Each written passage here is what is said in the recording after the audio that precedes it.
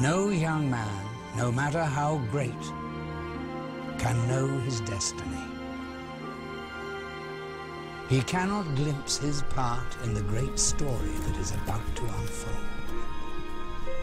Like everyone, he must live and learn.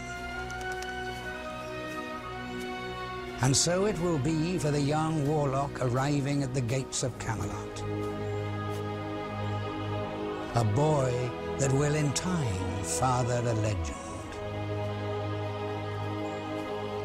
His name